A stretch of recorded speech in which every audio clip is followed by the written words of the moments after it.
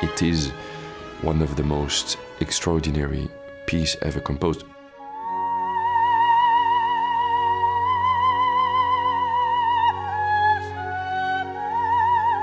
It's about love, it's about vanity, it's about how we handle uh, vanity or getting older, and it's also about social conflicts.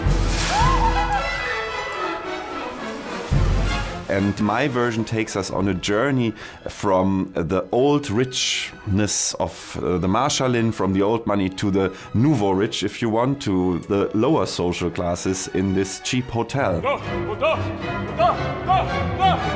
I was interested in putting the contrast of Marschallin and Ochs. Both are characters that get older and they both handle the fact of getting older very differently.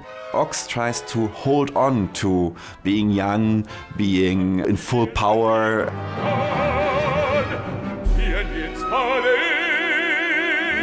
Whereas the Marschallin kind of understands that life is about enjoying the moment.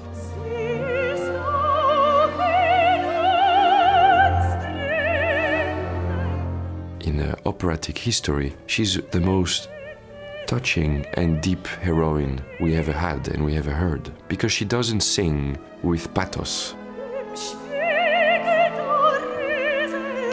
It's very philosophical what she's saying without tears.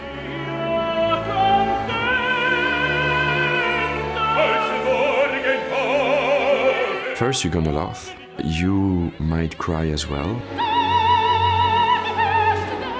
You might think of themes that you don't want to think about, but which are crucial in our lives. So, can you imagine all of that in one evening? That can change your life, honestly.